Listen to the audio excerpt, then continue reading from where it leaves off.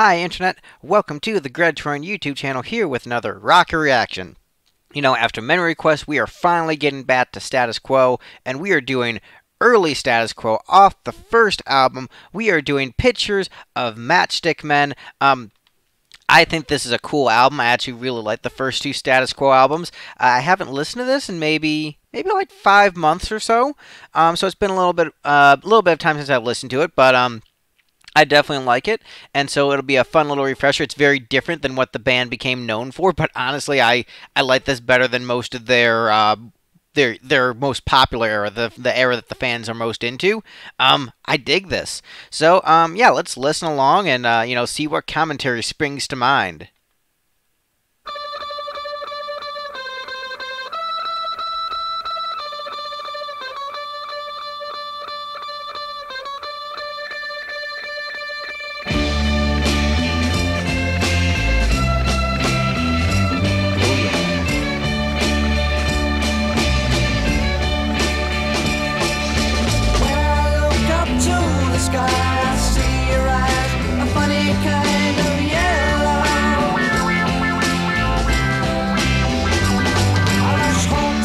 I mean, yeah, there's a, a, lot of cool stuff right away. I mean, a very Ringo s drum beat, um, great vocal melody, great vocal production.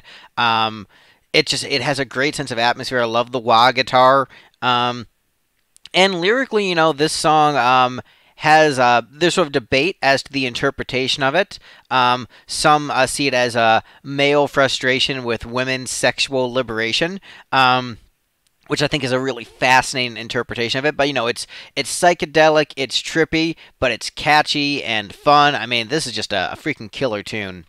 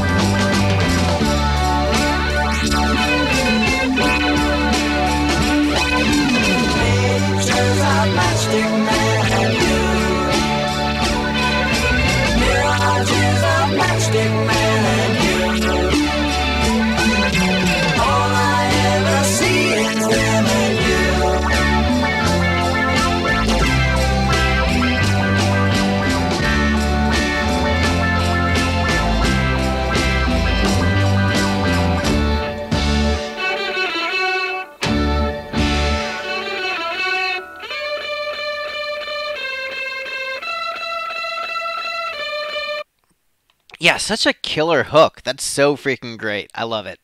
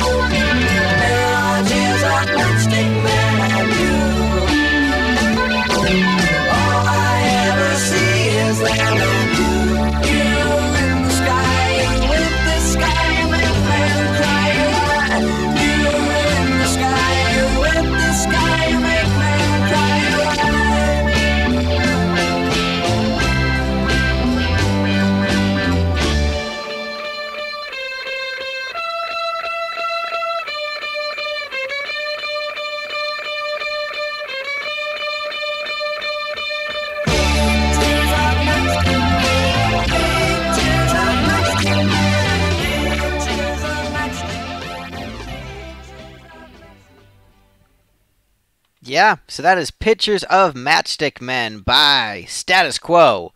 Uh, yeah, that's a freaking killer tune. Um, basically no complaints with it. It's just, um, great atmosphere, great production, well written, well performed. I mean, like, I, I have zero flaws with this one. It's just, it's great. S Rank. Great song, and I know that um, to many status quo fans, they're like, "What? This is the era of status quo this guy is into."